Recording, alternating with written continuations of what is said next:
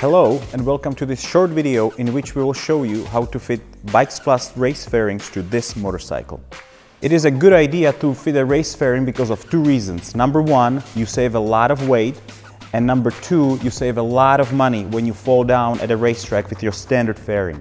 Bikes Plast is one of the few producers that does everything in-house, meaning they get their own molds for every motorcycle, they get a new model in the factory and then make sure that everything fits 100%. What we have here is a brand new Honda Fireblade CBR 1000 RR that is already stripped of everything from the factory. So everything that we don't need at the track is gone. Best part about Bikes Plast fairings, it is very easy to install. All you need is a screwdriver and a hex tool. First we'll start with the tank cover and the holder for the seat. Next is the rear part of the fairing, which is nicely reinforced on the inside with Kevlar carbon in the most important places.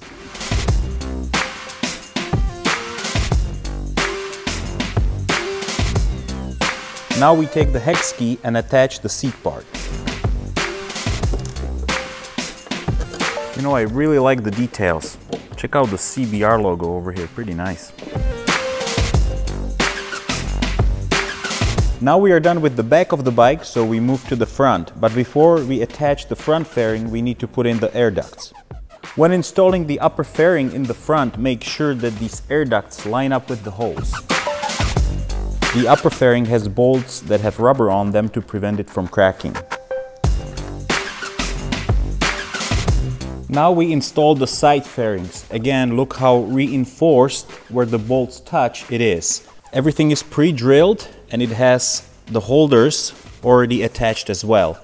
Now we take the Dzus fasteners and look how easy it is to attach.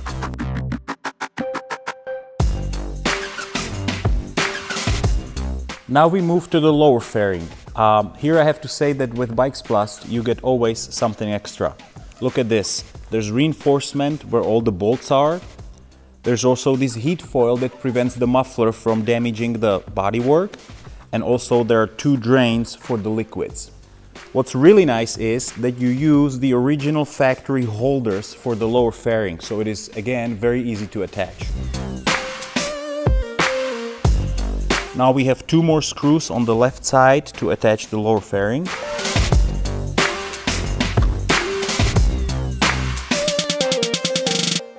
The last thing to attach is the front fender. Again, everything is pre-drilled and everything is reinforced on the inside.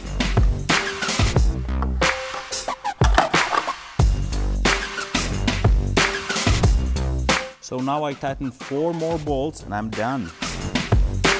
As you saw, it took less than 10 minutes to put all the bodywork on and now we're ready to hit the track. If you want to know more about our fantastic products, check out our website.